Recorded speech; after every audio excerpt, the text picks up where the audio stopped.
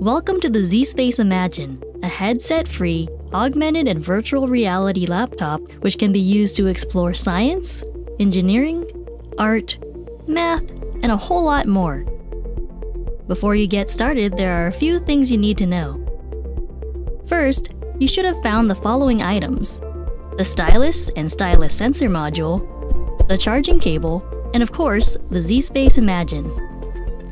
Unfold the stylus sensor module, then hold down the button to adjust the height of the USB.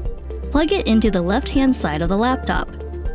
Make sure it is flat on the table and it is flush to the Imagine. Now plug the stylus into the USB-C port closest to the stylus sensor module. Connect the charging cable into the other USB-C port, then press the power button located on the top right above the keyboard to turn on the system. Sit front and center of the computer. Notice the reflector points around the screen?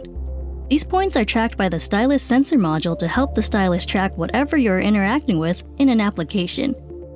For the best experience, make sure none of the reflectors as well as the webcam are covered, and tilt the screen to an angle that will provide you with the best view.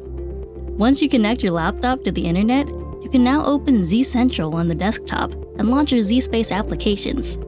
Just find the activity, experience, or application you'd like to use and click Launch. Now pick up and hold the zSpace stylus like how you would hold a pen. You will mostly use the center front button to interact with and pull objects out of the screen.